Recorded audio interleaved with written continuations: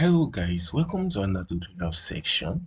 Today i'll be showing you how you can change your region on the Temu account.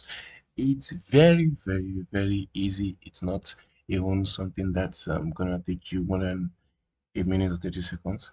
So to change your region on the Temu application it's quite easy but before getting to that please subscribe to our channel and turn on your notifications to get more educative content like this.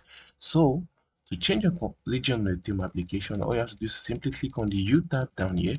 From the U tab, head over to the settings icon by the top right hand corner. Once you click on that, the next thing is to just select country and region. And from here, you can change to whatever country of choice you would like to use on the Temu application.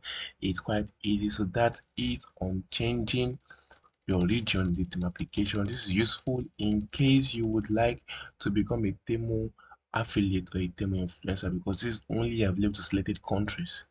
For example, the US.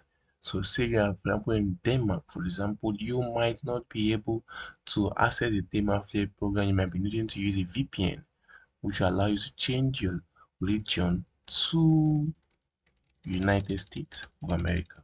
So that's it on changing your region on the Temu application, guys.